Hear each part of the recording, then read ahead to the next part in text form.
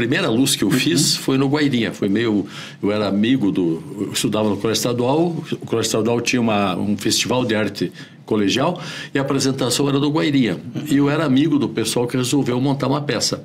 E chegamos no Guairinha, perguntaram quem que ia fazer a luz, não tinha iluminador, eu falei, deixa que eu faço. Fa fez a luz com Bruel. Isso foi 12 de outubro de 1971, às 21h50. Então, a minha profissão tem dia e hora que começou, né? Foi a hora que eu liguei aquela mesa de luz que está lá no Guaíra, guardada lá.